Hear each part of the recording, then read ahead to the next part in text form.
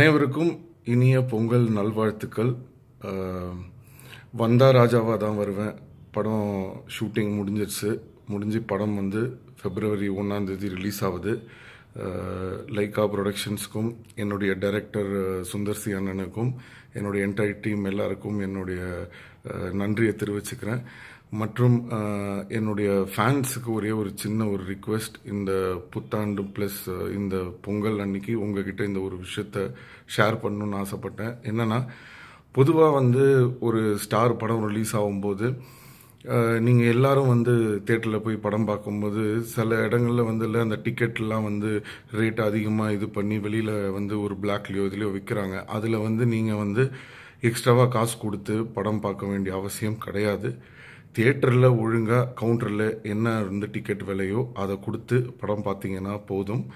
And இன்னொரு விஷயம் என்னென்னா ஒரு ஃப்ளெக்ஸ் வைக்கிறதோ இல்லை வந்து ஒரு பால் அபிஷேகம் பண்ணுறதோ இதெல்லாம் வந்து ஏதோ ஒரு விதத்தில் நீங்கள் ஏதோ ஒரு செலவு பண்ணி என் மேலே வந்து உங்கள் அன்பை காட்டுறதுக்காக நீங்கள் கண்டிப்பாக ஏதோ ஒரு விஷயம் பண்ண தான் போகிறீங்க ஆனால் இந்த ஒரு வாட்டி எனக்காக ஒரே ஒரு சின்ன ரிக்வெஸ்ட் அதுக்கு பதிலாக உங்கள் அப்பா அம்மா தான் உங்களுக்கு எல்லாமே அதுக்கப்புறம் தான் நான் அந்த அன்பு நீங்கள் என் மேலே வச்சுருக்கீங்கன்றது எனக்கு தெரியும். அதே மாதிரி இந்த வாட்டி இந்த பால் அபிஷேகம் பேனருக்கு பதிலாக உங்கள் அம்மாவுக்கு ஒரு புடவை உங்கள் அப்பாவுக்கு ஒரு சட்டை உங்கள் தம்பி தம்பச்சிக்கு தங்கச்சிக்கு ஒரு சாக்லேட்டு ஏதோ ஒன்று உங்களால் முடிஞ்சதை அந்த ஒரு விஷயத்தை நீங்கள் பண்ணி அந்த உங்கள் தாய்க்கு நீங்கள் கொடுக்குற அந்த ஒரு ஒரு புடவையோட ஒரு ஃபோட்டோவோ இல்லை ஒரு வீடியோவோ எடுத்து அதை நீங்கள் போட்டிங்கன்னா அதை விட சந்தோஷம் எனக்கு வேறு ஒன்றுமே கிடையாது.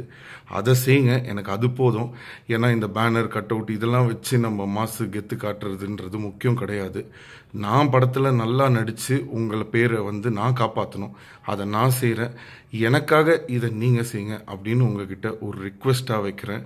ஸோ இந்த நியூ இயர் நல்லபடியாக எல்லாருக்கும் ஒரு நல்ல வருஷமாக அமையும்னு நம்புகிறேன் again once again happy Pongal love you all நீங்கள் இல்லாமல் நான் இல்லை.